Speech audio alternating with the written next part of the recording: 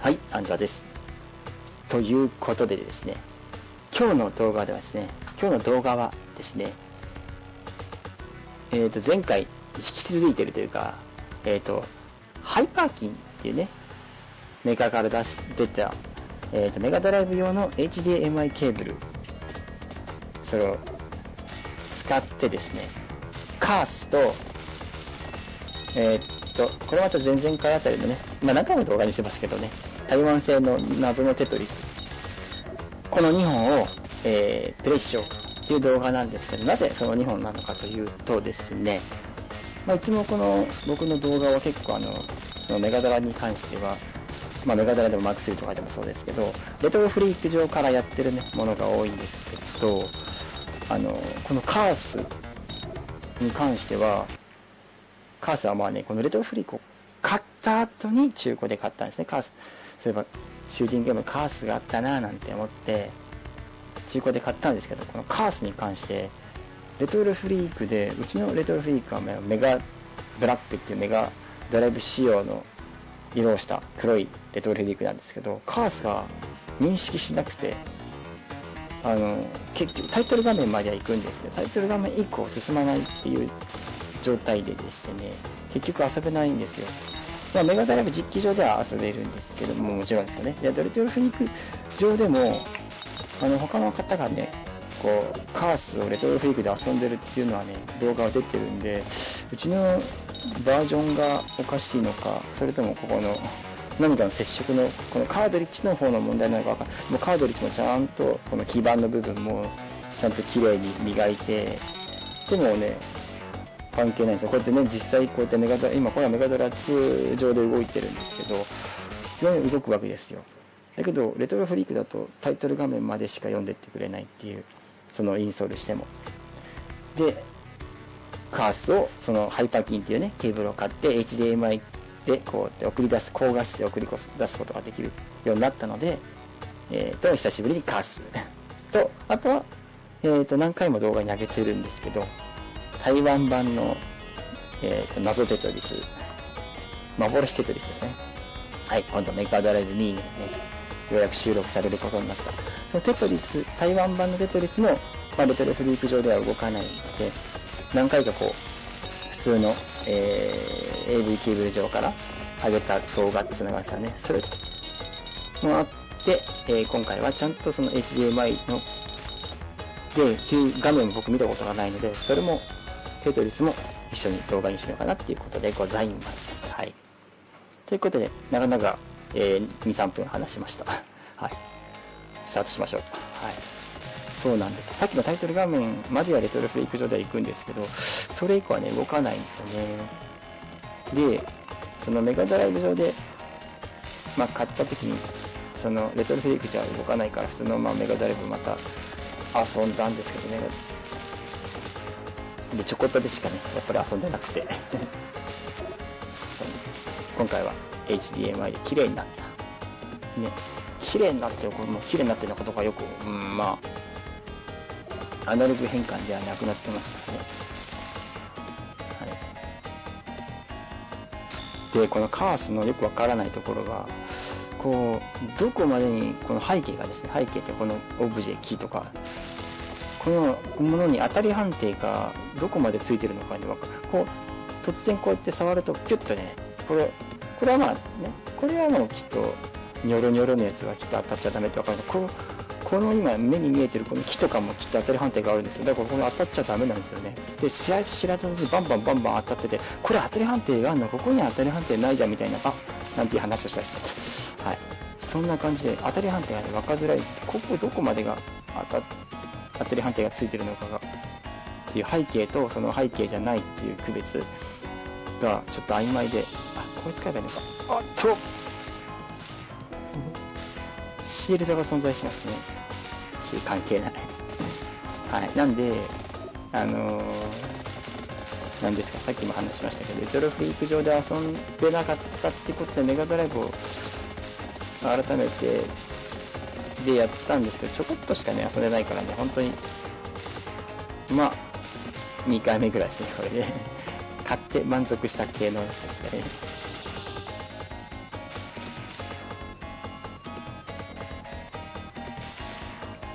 はい、なので、またいつもの通り、あの、ほら、こうやって当たり判定外にあったりするんですよ、ここに。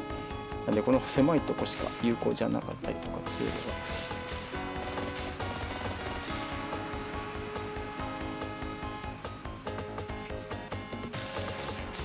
はい。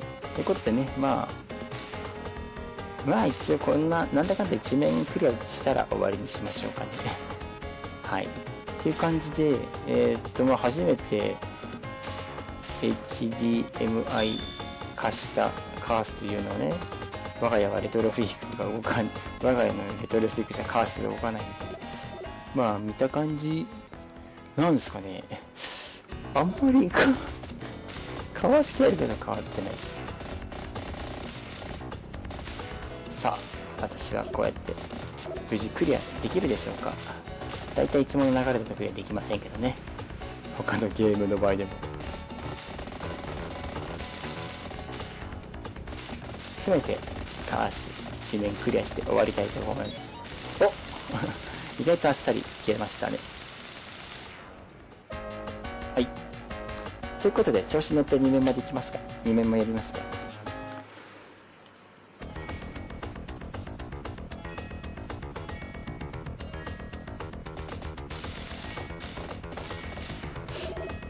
カースの評価ってそんなに高くないんですよね。ああ落ちてこれ使えばよかったな。あこれ全部に当たりあれ倒せないかったのか。さすが2面で先に進んでないだけあって分かってなかったですね。倒せるもんだと思ってガタガタガタガタ打ち込んでました。倒せないものでした。これ何が一番有効なんだろ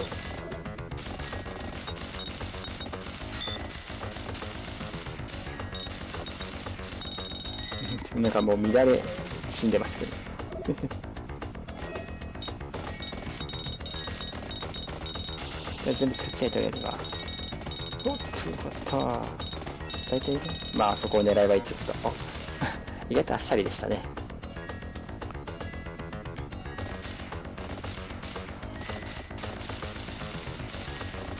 はい。まあたまにはねこう真面目にクリアするのもありでしょう。だけどこれは完全な2面は私も今やったことのない領域に入っておりますから終わりました。あまだ生き残ってるか。はい、まあ、今回はね動画の目的はあくまでもこの HDMI カース出力したカースというのをね遊んでみたかったということでついでにね一緒にこうあっと動画にしたかったなーって話。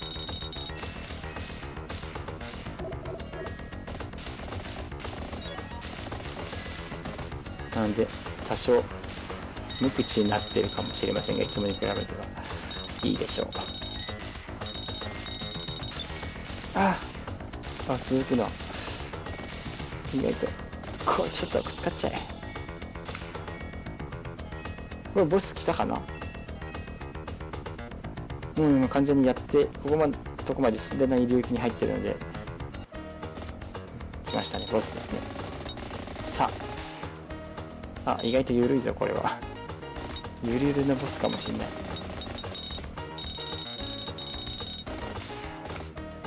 うわ出てきた。さっきので終わりじゃないのか。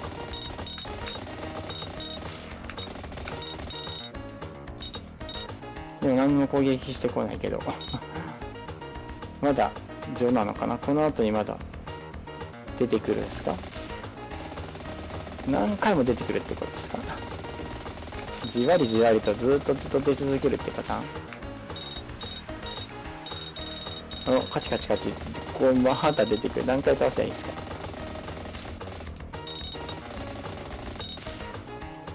あ全然ボスでもなかったんか。上昇こっちがボスか。分かった。弾がいっぱい出てきてます。こいつが本当のボスでした。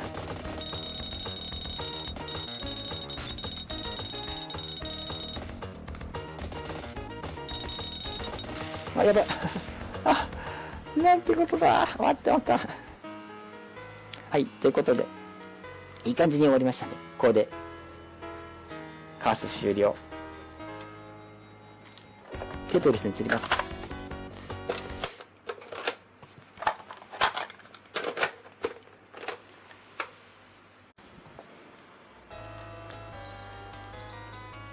はい。ということでですね、えー、2本目のタイトル、謎の、えー、台湾版テトリスでございます。はい。ということで、これもですね、何回ももう僕の動画に過去に出てますけど、はい。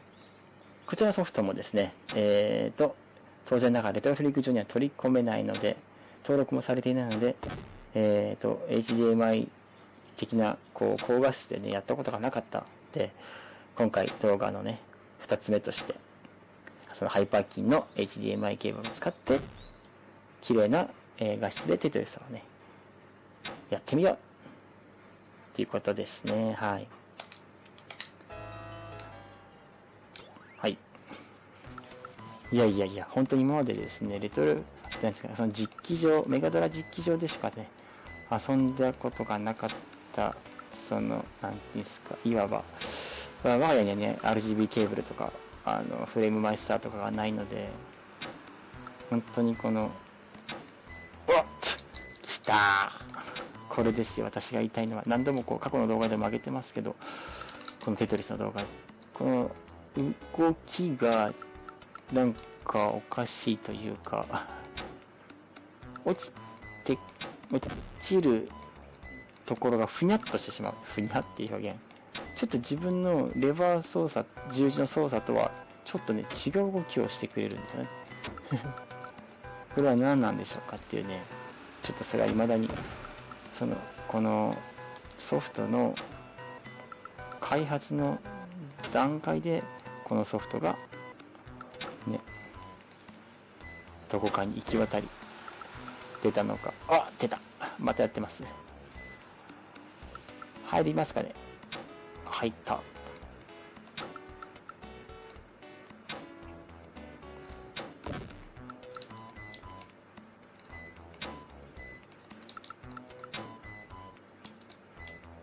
さあ。えーと、序盤失敗してのスタートですけど、さてさて、さてさて、これは、どうなることやら。なんとなく体勢を整えて、えーと、再スタート知りたいのですが、なんとなく、ああ、いけそうな気がしますね、これはね。そうですね、あのーこれはその当時のテトリスをそのまま一応移植したっていう形なので回転も一方向にしか回転しないというかそのゲーセン版の1レバー1ボタンのままの移植なので。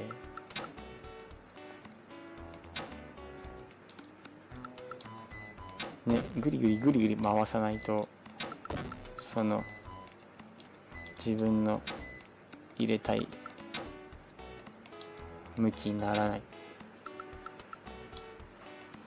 さてさて。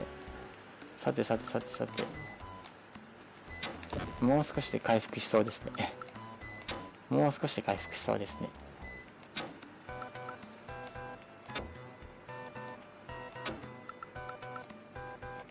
あ出た出たこれは今自分のミスですね。何のテトリス効果もなし。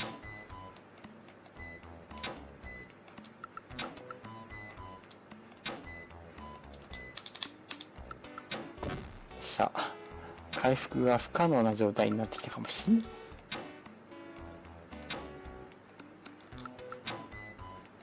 さてさて。さあ、怪しい状態ですよ、これまだまだ。いやね初の HDMI プレイなのに。だからまだまだ、まあ、戻れる可能性もあり。まだ頑張りたいです。はい。さあ、ちょっと回復が進めるかもしれない。あ、出た。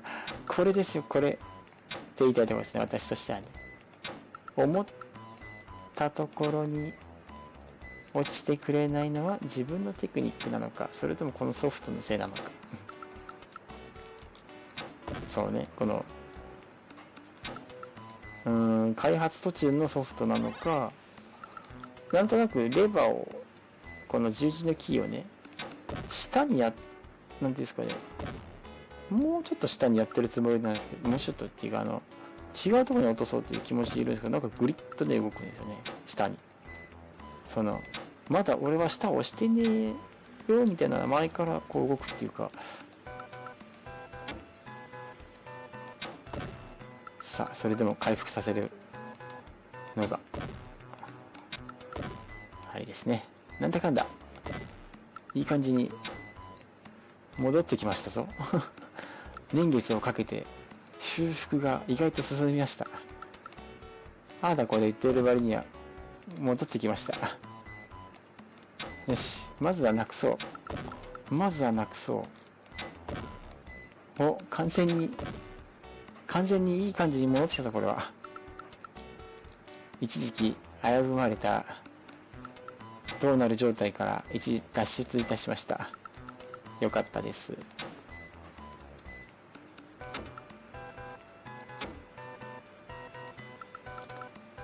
だがまた新たな変な形になってきましたが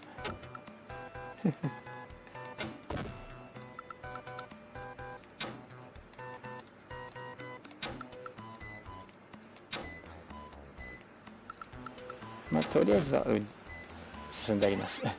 とりあえずは進んであります。あ出た。はい、えー、致命的な一発が入ったかもしれません。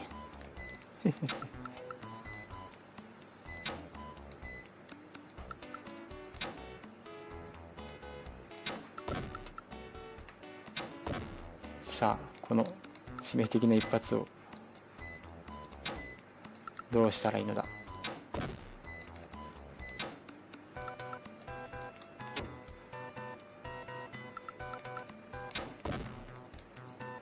なんとか回復させつついきたい。あ なんでしょうか？回復できない一発が入ったかもしれない。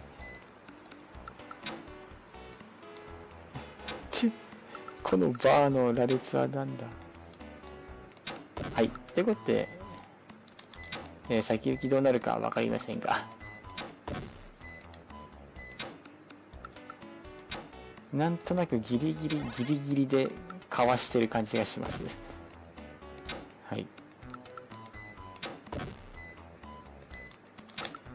なんとなくギリギリなんとなくギリギリ。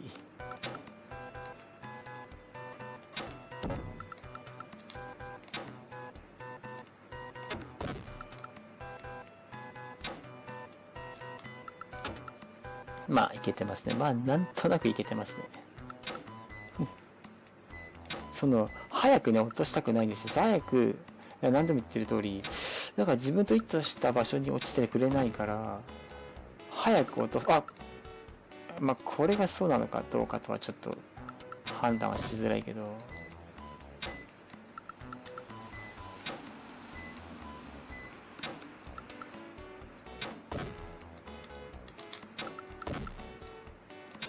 まあ、なんとなく粘ってますね なんとなく粘ってます。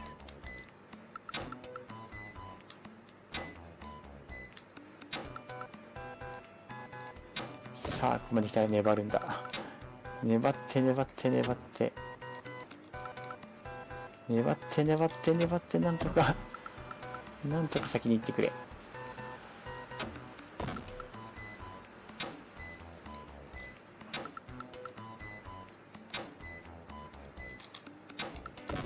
さあ。さあ。なんでこればっか出る？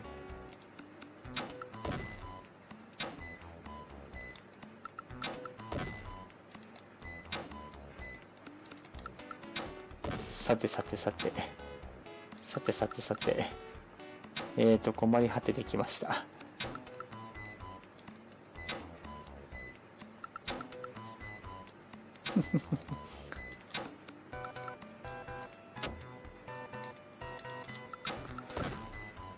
少し救われた。あやってしまったかん。あ、やってしまったかん。あ、あるあるある。なんだこりゃ、なんだこりゃ。最後はルアー書きで終わりましょうか。ここまで来るともう、はい。パこんな感じで。はい。自分ながら、まあね、よく頑張ったかな。まあ、とりあえずレベル8までいったんで、自分としてはいいです。まあね、別にこう、あの、テトリス病になってた時みたいにね、こう何もしなくてもテトリスが頭からね、手からテトリスが降ってくるみたいなとなってない状態でやったのでね、これは上等でしょう、みたいな。はい。ということで、今回の動画は、まあ、まったりやりましたけど、えっと、カース、テトリス、謎、バン、で、えー、タイマーバン。はい。この2作を、えー、ハイパーキンの HDMI ケーブルで、えっ、ー、と、やったよ。動画でした。では、また次回。